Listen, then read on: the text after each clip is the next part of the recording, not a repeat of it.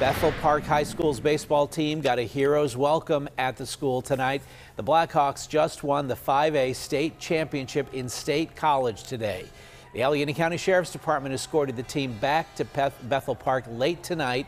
This is Bethel Park's first baseball state championship since 1988. Josh Taylor will have a look at how they got the win coming up in sports.